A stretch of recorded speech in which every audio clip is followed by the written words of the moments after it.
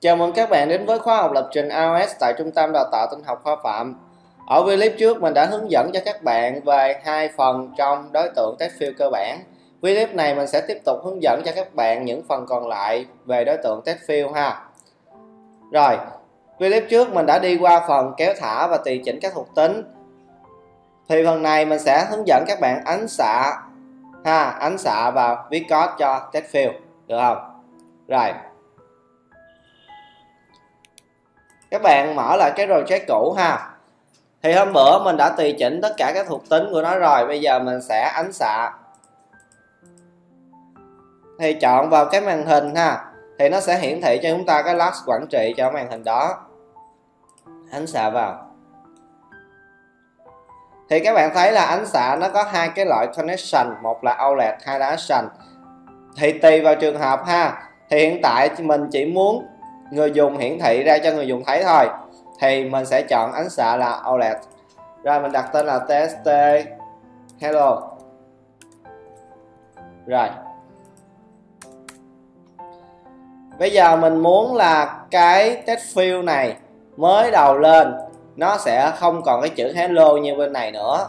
Thì mình sẽ vào trong video log mình viết.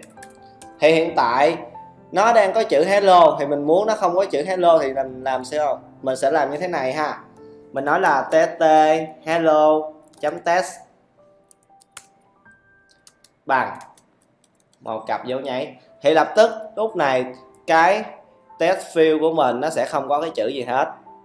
Rồi, mình sẽ chạy lên thử ha.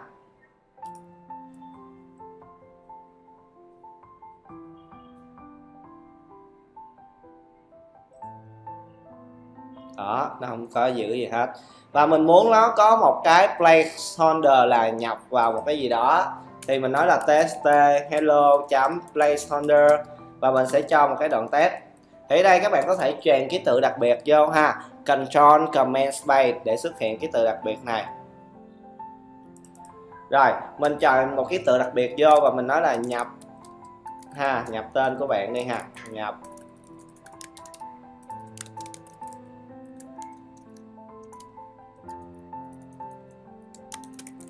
Nhập tên của bạn. Đó. Rồi, mình chạy lên thử cho các bạn xem.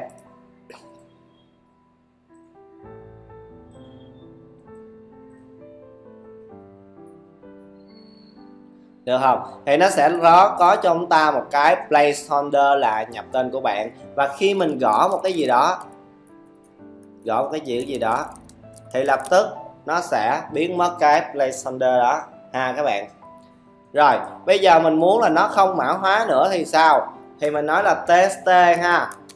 Test hello, chấm test. Rồi, chấm secure đi ha. Secure. Đó, thì các bạn sẽ thấy là nó sẽ có thêm chữ e phía trước nữa. E secure, test and try. Thì các bạn enter giúp mình. Và nó đang nhận cho chúng ta cái kiểu là bool ha, kiểu bool thì nó là true hoặc là false thì ở đây mình muốn là nó không có mã hóa nữa thì là false. Rồi, chạy thử lên.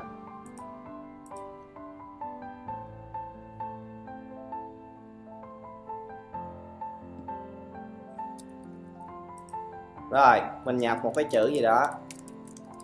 Đó, thì các bạn sẽ thấy là lúc này nó không còn mã hóa nữa. Và bây giờ mình muốn là cái keyboard này là chỉ hiện số ra thôi thì mình làm sao? Mình nói là test hello, chấm keyboard type ha, thì bây giờ mình lỡ mình không biết cái kiểu dữ liệu nó làm sao, thì giờ mình viết tắt ha, mình dấu dấu chấm. Thì lập tức nó hiển thị cho chúng ta là những cái kiểu keyboard. Ví dụ như ở đây mình nói là name format đi. Đó. Rồi, chạy thử lên.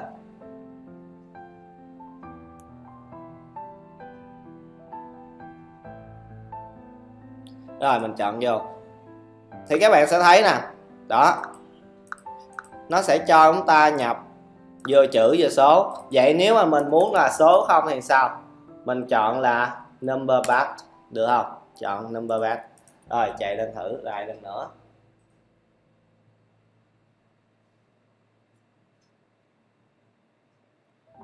Rồi, chọn vô. Thì các bạn sẽ thấy là mình có thể tùy chỉnh cái keyboard bằng code, được không?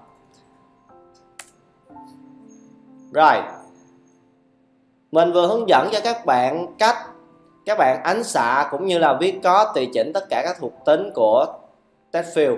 Cảm ơn các bạn đã theo dõi video clip. Hẹn gặp lại các bạn ở những video clip tiếp theo.